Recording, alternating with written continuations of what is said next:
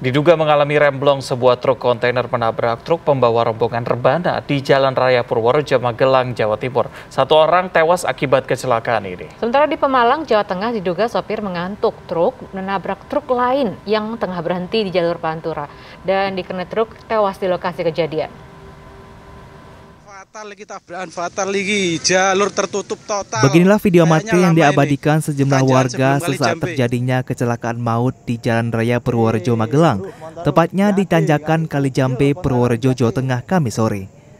Tampak sejumlah korban mengalami luka berat dan ringan akibat terpental dan keluar dari truk pengangkut rombongan rebana asal Kajora Magelang.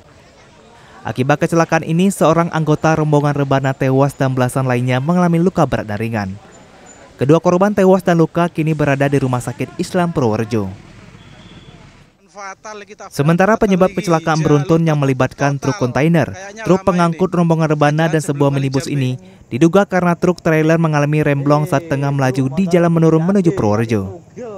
Tak mampu mengendalikan laju kendaraannya, truk naas itu menghantam rombongan rebana dan sebuah minibus dari arah berlawanan kejadian kecelakaan ini masih dalam proses penyidikan. Untuk sementara kami masih berusaha untuk melakukan evakuasi terkait dengan kecelakaan yang melibatkan tiga kendaraan.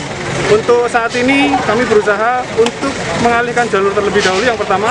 Yang kedua kami berusaha mengevakuasi supaya jalur yang kembali dapat dilalui ya, bisa dialiri. Demikian. Kecelakaan ini kini dalam penyidikan Satuan Lalu Lintas Poros Purworejo. Diduga akibat pengemudi mengantuk sebuah truk menabrak truk yang tengah berhenti di jalur darurat di ruas jalan tol Pematang Batang. Akibatnya kedua truk terjun bebas ke parit sedalam 6 meter. Nah, akibat kecelakaan ini satu kernet truk meninggal dunia dan satu pengemudi mengalami luka berat. Akibat kecelakaan ini hingga Kamis siang di jalur tol kilometer 331 mengalami penyempitan ruas jalan. Sementara hingga Kamis siang kedua bangkai truk masih berada di bawah parit tol. Tim Liputan CNN Indonesia.